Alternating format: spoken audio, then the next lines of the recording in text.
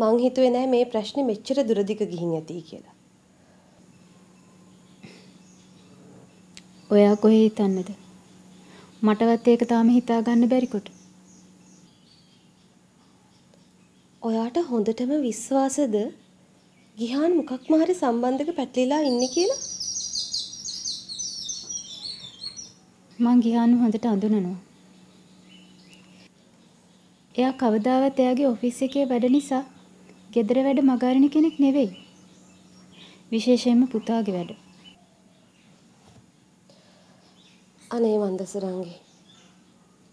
මං නම් හිතන්නේ ඔයා මේ වෙලාවේ තමයි වැඩිපුරම ඉවසන්න ඕනේ. ඔව්. ඔයා හරි.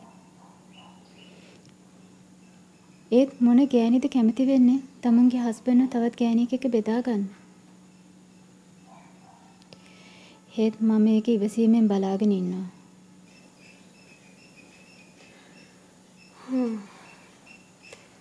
ඒක තමයි ඔයා මේ වෙලාවේ කරන්න ඕන එකම හොඳම දේ.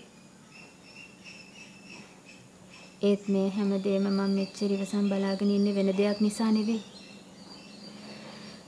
මගේ අසරණ දරුවා නිසා.